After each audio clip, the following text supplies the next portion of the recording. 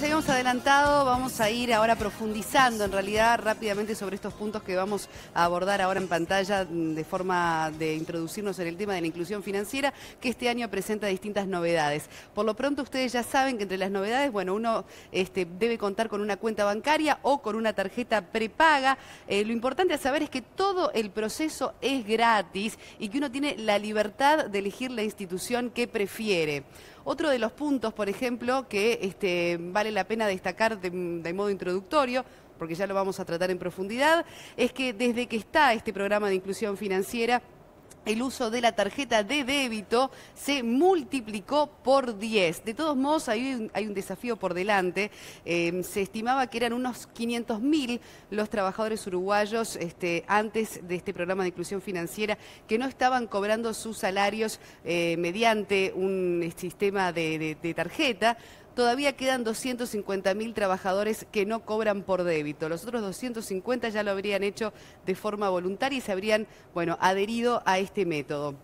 La rebaja del IVA que viene con novedades desde este enero de 2017, una rebaja de cuatro puntos, así como fue el comienzo de todo, ¿verdad?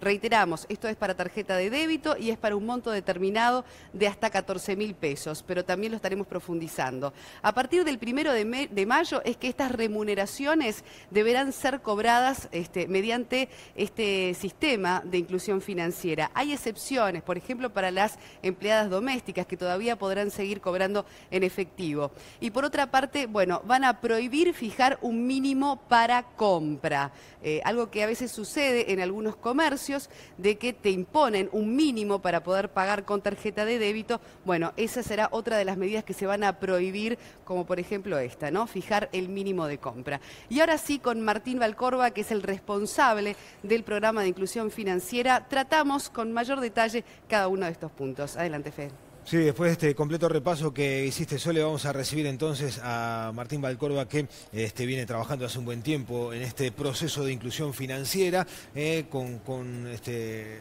al, algunas apreciaciones con relación a esa información, porque incluso ese plazo que se manejaba el 1 de mayo puede ser antes, ¿no? Buen día, ¿cómo está? Buen día, ¿cómo andan? Este, un gusto estar compartiendo con ustedes la mañana. Sí, en realidad eh, un, una, digamos, la presentación fue muy completa, una, una, precisión, no más que el tema de los mínimos, eh, la prohibición de que los comercios que decidan aceptar tarjetas de débito no puedan establecer mínimos, va a entrar a regir este, en los próximos días. Es decir, eh, la ley fue aprobada el 29 de diciembre, va a ser promulgada en estos días, luego que se publique ya entra en vigencia, por lo tanto antes de fin de mes ya va a estar vigente. Este que fue uno, una de las principales quejas que a través de, del portal claro. de inclusión financiera.vive hemos recibido por parte de lo, en general de los, de, de los, usuarios del sistema, en la medida que era un, una molestia muchas veces llegar a un comercio y ver que había un mínimo a partir del cual recién se podía pagar con tarjeta.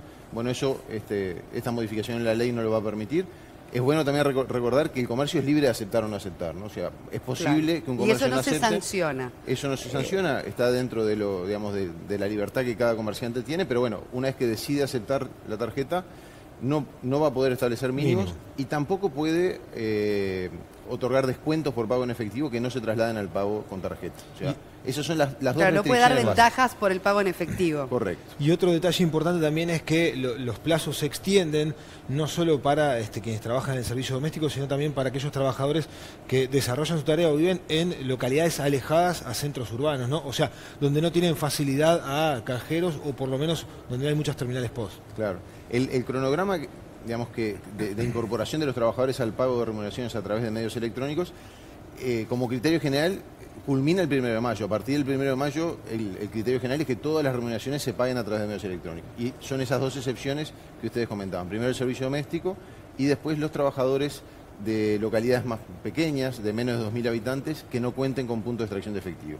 Hasta tanto la localidad no, no cuente en la cercanía con un punto de extracción de efectivo, eh, esta disposición no va a estar vigente. Y esto alcanza también a los trabajadores rurales. Eh, ¿no? Valcorba es interesante porque, bueno, se, se, se, dice mucho, ¿no? Bueno, qué lástima que no está generalizado también al uso del efectivo, eh, porque únicamente para tarjeta de débito, pero vamos a, a, aclarar que ustedes también tienen una intención muy específica en esto de generalizar el débito para asegurarse este descuento de los cuatro puntos de IVA, a eso me refiero puntualmente, ¿verdad? Claro. Eh, que es un poco mm, asegurarse que el consumidor realmente va a contar con el descuento.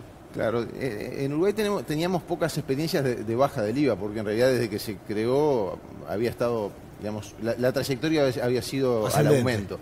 La primera rebaja que tuvimos fue en el año 2007 con la reforma tributaria, que se eliminó el COFIS, que a todos los efectos era lo mismo que el IVA, y se redujo el IVA también. Y en ese momento siempre quedó la duda si esa rebaja se había trasladado al, precio digamos, que, de compra para los consumidores. Porque recordemos que cuando vamos a un almacén, a una tienda, a un supermercado, los precios son con IVA incluido. Este, desde, el, desde el gobierno, el Parlamento se puede reducir el IVA, pero si el comerciante de alguna manera no traslada esa rebaja al precio final, eh, el beneficio no llega al consumidor y simplemente lo que hace es quedar dentro de los márgenes de comercialización.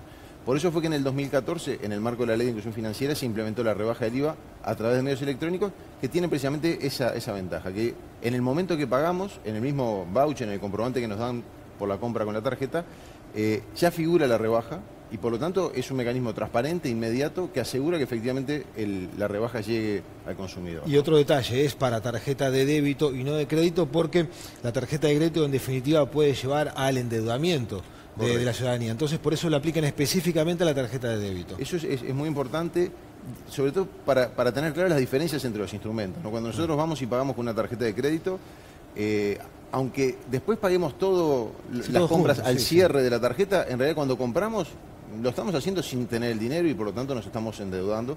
Y no nos parece razonable de las políticas públicas estar promoviendo ese tipo este, de, consumo. Entonces, lo que sí de alguna manera se está promoviendo es la sustitución del efectivo por tarjetas de débito e instrumentos electrónicos, que no es otra cosa que usar el mismo dinero que tenemos de una manera diferente. En lugar de tenerlo en la billetera, en el bolsillo, en la cartera, lo tenemos almacenado en un medio electrónico y vamos directamente al comercio sin tener que ir al cajero y pagamos con ese medio electrónico. Y con la libertad también de poder extraer en efectivo, si uno quiere, desde el cajero también el dinero.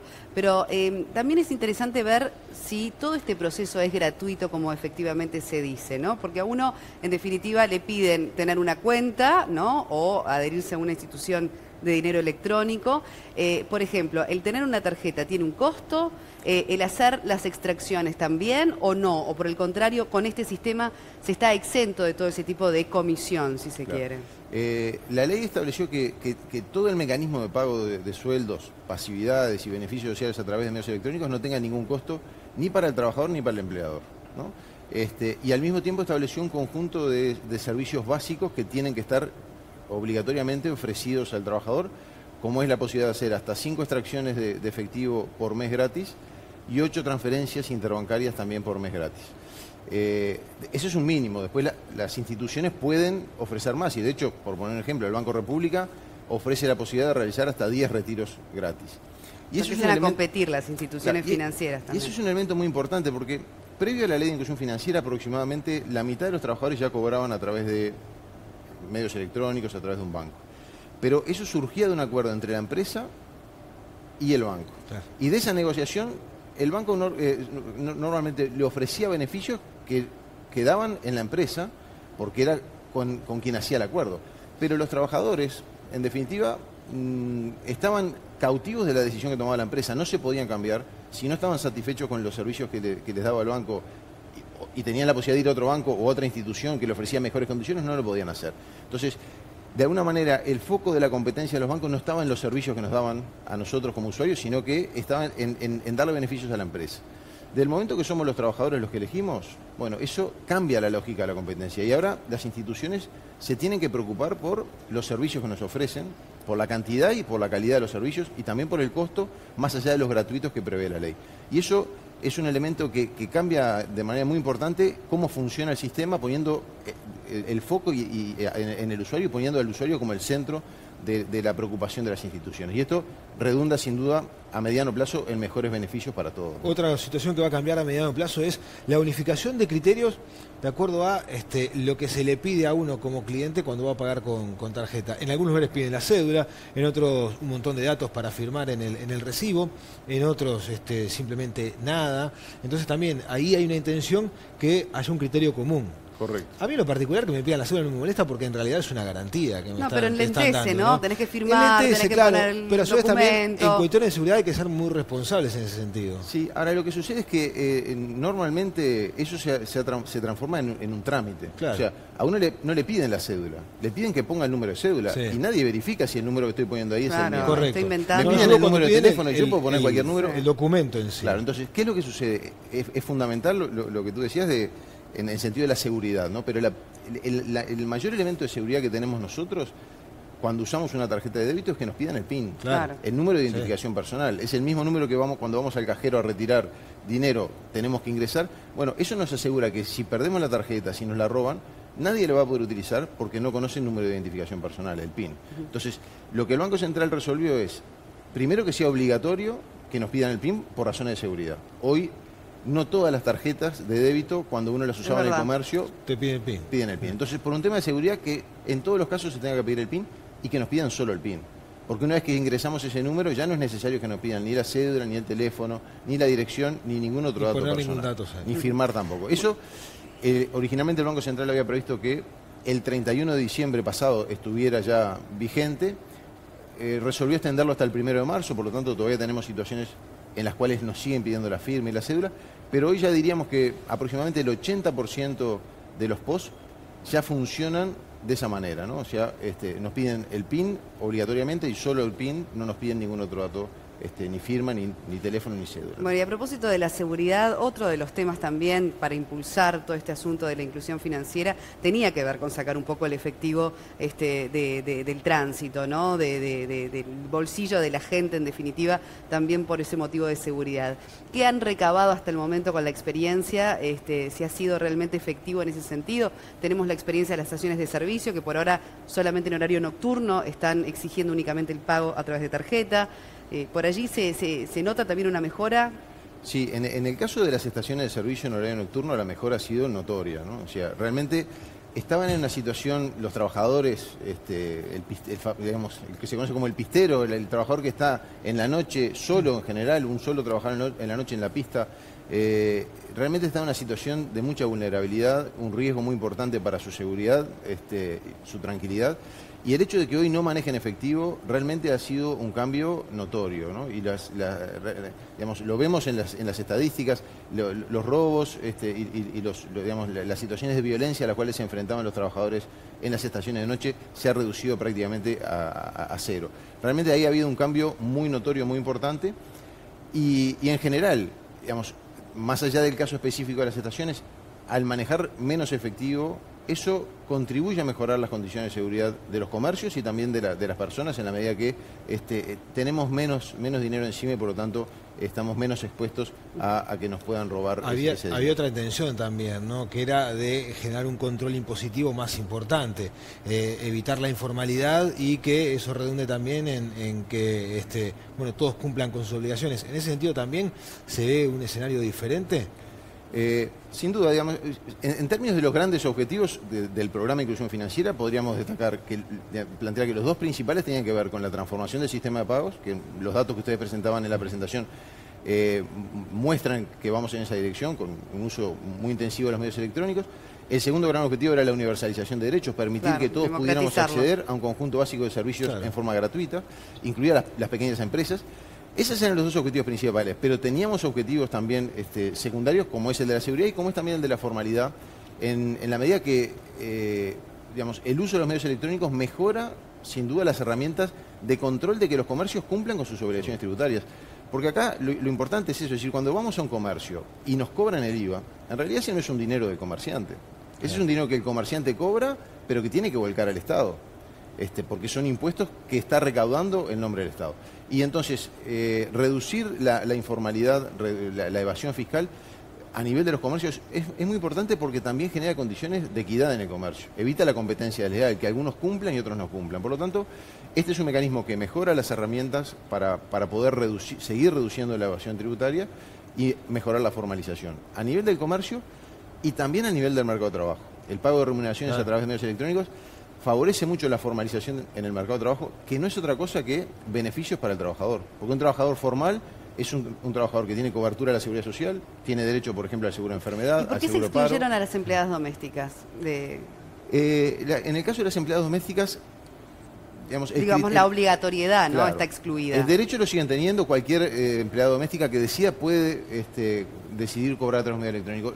La valoración que se realizó fue que en el caso del, servicio doméstico, el empleador es una familia, es un hogar. A diferencia de lo que son los comercios, incluidos los más pequeños, que están acostumbrados al relacionamiento con los proveedores, a operaciones comerciales, en el caso de los hogares podría ser un poco más complicado, ya ahora, a partir del 1 de mayo, realizar este tipo de, operaciones de pago a través de medios electrónicos por transferencias y demás. Y por lo tanto, se consideró conveniente dar un plazo un poco mayor para que todos nos vayamos adaptando, nos vayamos familiarizando y acostumbrando con algo que es una tendencia a nivel mundial. O sea, nosotros en Uruguay lo que estamos haciendo es acompañando al mundo la economía está sufriendo una, verdadera revolución, digamos, en todo lo que tiene que ver con la economía digital. No solo la economía, nuestras vidas cotidianas, el uso de los celulares, cada vez más la tecnología es parte de nuestra vida cotidiana. Eso también funciona en, materia de sistema de pagos, pero nos pareció importante dar los plazos necesarios para que todos nos vayamos adaptando eh, con gradualidad y pragmatismo en lo que es la implementación. Bien, simplemente y de forma rápida recordar que las compras para, esta, para este descuento que ya rige desde enero de los cuatro puntos de IVA es hasta 14 mil pesos, ¿verdad? Hasta 14 No importa la cantidad de compras por 14 mil pesos o hasta 14 mil pesos que hagamos en el día. Este, pero ese es el tope. Cada transacción, digamos. Cada transacción. No, es, no son 14 mil pesos por día, sino cada compra que pensemos, digamos, abarca a la enorme mayoría de las transacciones que realizamos de forma cotidiana. Bueno, muchísimas gracias por, por su visita. Este, felices vacaciones, está a punto también, ¿no? Bueno, muchas gracias igualmente. Nos vamos ahora Solo estás pensando en las vacaciones. ¿eh? las nombrás demasiado las vacaciones.